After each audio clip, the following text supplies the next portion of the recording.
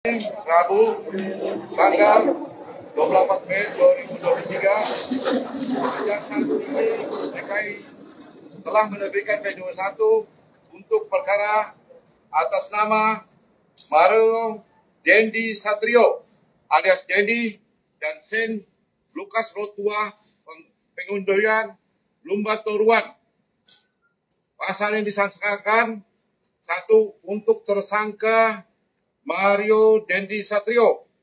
Kesatu, Primal pasal 355 ayat 1 KUHP, Junto pasal 55 ayat 1 ke 1 KUHP. Subsidiar pasal 353 ayat 2 KUHP, Junto pasal 55 ayat 1 ke 1 KUHP. Atau kedua, pasal 76C Junto pasal 50 ayat 2 Undang-Undang nomor 35 tahun 2014 tentang perubahan atas Undang-Undang nomor 23 tahun 2022 tentang perlindungan anak Junto pasal 55 ayat 1 ke 1 KUHP. Untuk tersangka Sen Lukas Rotua Pengiduan Lombat Toruan. Kesatu, primer pasal 355 ayat 1 KUHP, Junto pasal 55 ayat 1 ke 1 KUHP.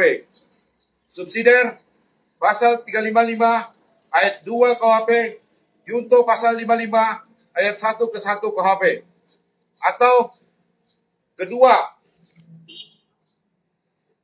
primer pasal 35 355 ayat 1 KUHP, Junto pasal 56 kedua KUHP. Subsidiar pasal 353 ayat 2 KUHP junto pasal 56 ayat kedua KUHP.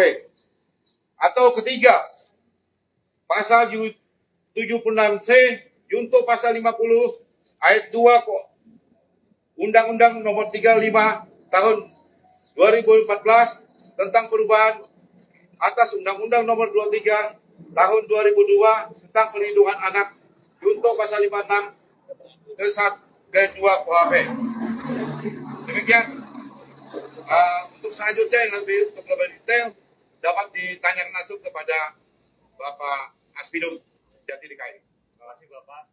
Selamat siang rekan-rekan media sekalian. Bagaimana yang sudah disampaikan oleh Pak Wakajati tadi,